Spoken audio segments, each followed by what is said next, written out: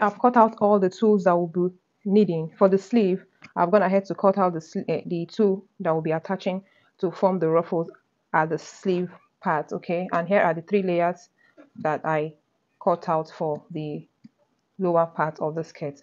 So, so mate, let's go and sew this beautiful ball gown together. So now we'll start sewing the upper bodice. So I'm going to unpin. So we'll start from the neck area. So I'm going to turn the, the right side of the main fabric and the right side of the lining like so. And I'm going to sew it down on 0.5 inch. I'll go ahead and notch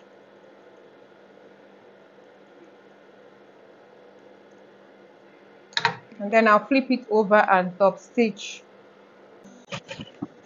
so I'll do the same thing for the back I'll quickly iron it out now and then we'll continue. Finish ironing the neck. I'll go ahead now and sew the armhole down. So I'll flip it over and sew it down. So after sewing it I'll notch them and then I'll go and give it a good press. Trying to notch all the armhole areas so that I can lay very flat. All right, I have ironed it and look at how flat they are laying. So the next thing we do now is to, you know, shape the sides of this upper bodice. So I'll place it side by side like this. And the next thing, remember the allowance we, we added when we are transferring our fabric to pattern. So we're going to sew the sides on those allowance. And if you're not sure about it, you can always come back to, you know, measure and then deduct the extra ones and sew it by the side. So now I'll pick the, I'll sew it like so. Next, I'll grab the lining part, lining, you know, like so, the front, the right side facing the right side, and then I'll sew it down on 1.5 inch. So I'm done sewing it. I'll go ahead now and open it up, open the seam lines and iron it down. So here is the upper bodice of ironed it. Can you see? See how flat it's laying? It's ready. Can you see how beautiful it's looking? Everything is neatly done. Okay, so I'll go ahead now and start preparing the lower parts of this gown. For the skirt preparation, I have pull gathers for the two. Remember I said that they are going to be in three sets. So I have arranged them carefully. That is the first part of what to do. You have to arrange all the steps of the gathers neatly like so. So we're going to start with the down part. So we're going to start sewing for the down part. Sew this one. Next thing, we sew this one and then we sew the last one. It's easier to start like that. Now,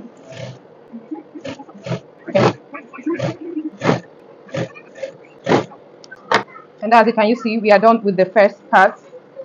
And the next thing I'll do is to lay the second one on top of it and begin to sew it okay just completed the second layer now can you see it's taking shape so the next thing i'll do is to place the last layer on top and do the exact thing. It's as simple as that. You can see by the time we place this one on top okay it's adding much volume to it. And then you also place this one. Can you see? So that's what we're going to do now to sew this down now. This is what it looks like. Can you see so right now we'll go back to the upper bodice so that we'll start joining them together. Now we'll continue with the upper bodice so remember from the design that we are making i've cut out the strip okay with the length of our half length. So this is the strip that we're going to sew the two on it okay? So i'm preparing to sew it now. It's going to form like something like this. Can you see? And then the ruffles will just go around it. So this is how far I've been going with the upper body. So remember the strip I told you I've done this part and I'm going to tell you exactly what I've done here. So from the midpoint of this upper body, I measure one inch apart. Place the strip like so, connect it to the shoulder line like this and run it through across. So what I did was to first of all, you know, stitch this one directly to the fabric. Remember, we are after inseam perfect finish. So you sew only on the main fabric. Don't sew on the lining yet. Okay. you know sewing this one down will make it easier for me to sew this other part so make sure you you open it up properly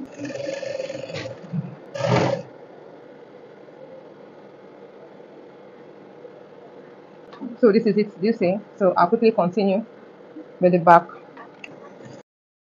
Make sure you keep your fabric open so that it does not fold. And here it is, we have attached this our strip to our first of all I would like to hold this in place to sew it together and sew it down all right so sewing it up like this next thing I'll come with my trimmings you know. This is the right side this is the right side. So I'll place right side versus the right side and sew it down on 0.25 next thing I'll fold it over to cover up this gather place before I'll place it on the main fabric okay? So I'll quickly do that now.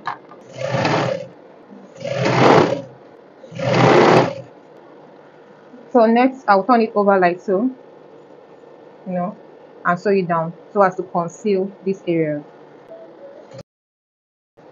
And here we have our ruffle so quickly I'll place it like so and attach it all around it's quite simple. So let's do that quickly. Yeah can you see? So I'll quickly go and iron it and then we start joining it to the lower bodies. Well this is the best part okay? Now we are joining the upper bodice to the lower body. So first thing to do is to match it up and mark out the midpoints so this is me folding it into two and then locating the midpoint. And I put a mark or a notch there like so right? And I'll do same for the upper bodice. Get the midpoint here.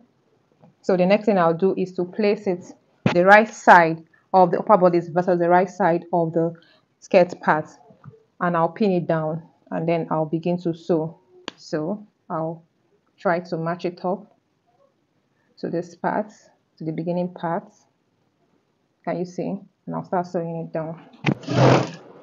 So I sew it down started from one end to the other end and it came out so nice look at what we have sewn it is so neat and uh, it's accurate all right our gown is taking shape as you can see everything is arranged. So the next thing we are going to do now is to start fixing our zipper. Can you see? Yeah so to do that i'm going to flip it over and start sewing it from the back okay?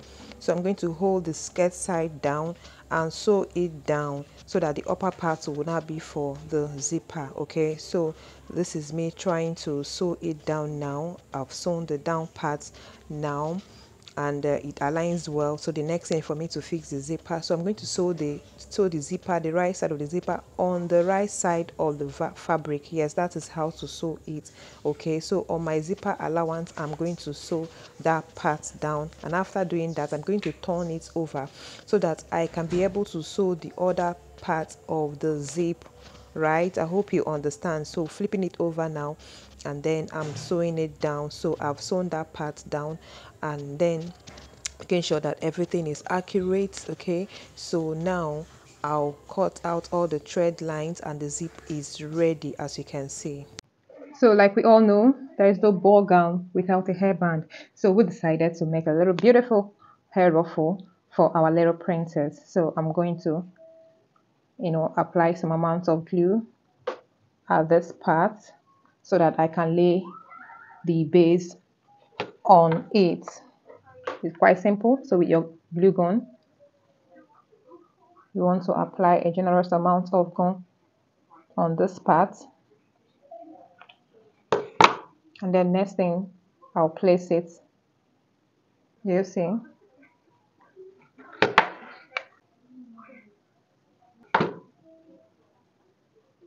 Okay, so after that, I'll bring in the head bowl I would like to use this little thing to embellish it. So I'll just apply my glue on it like so. Place it.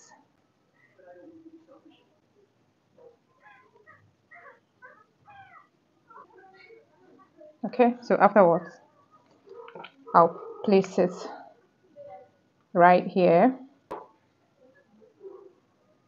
Yeah that's it so here we go our hairband is ready.